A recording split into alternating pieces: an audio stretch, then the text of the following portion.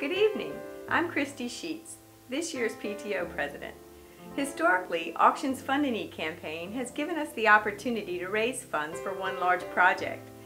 With three campuses, one school in mind, this year we've chosen three smaller projects selected by the campus directors. From increasing opportunities for outdoor learning to transforming areas into more usable spaces, with your directed gift, we can impact each and every one of our Ascension students. The grassy area around the River Ranch Library is sunny. The fenced areas are closed to the classroom. Teachers work in groups at the picnic tables. They do projects in the outdoors. They have games and special birthday lunches. They have other celebrations in this safe place. Weather is taking a toll on our picnic tables. The money raised for the River Ranch campus will help us buy new picnic tables. The quick drying winter free surface will allow for years of learning opportunities for our youngest blue gators.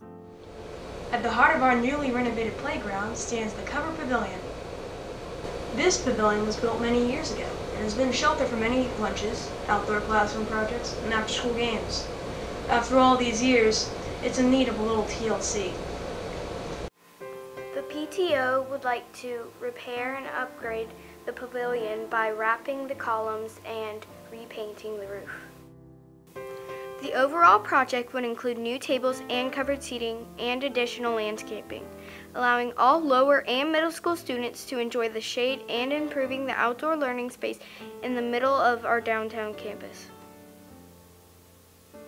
When the plans for Stellar Hall at Sugar Mill Pond were drawn, the library commons were meant to function as a traditional library. However, as we have grown and progressed as a school, the library space has become primarily a commons area Students utilize this space on a daily basis to gather, tutor, study, and meet with teachers. In addition, we host multiple gatherings for parents, students, and faculty. Our goal would be to see the Commons area become more of an inviting and usable space for our school community. The addition of permanent audio and video equipment in this common area would greatly aid in the number and quality of presentations given by both faculty and students. Our hope is to create a space that allows our students and faculty the availability to present to larger groups in a flexible and comfortable environment. We are planning to transform the space to allow for greater flexibility and additional seating. Any assistance with the purchasing of the projector, screen, and furniture would be greatly appreciated by everyone on our SMP campus. Our goal on all three campuses is to create an atmosphere that encourages collaboration and communication across all grade levels.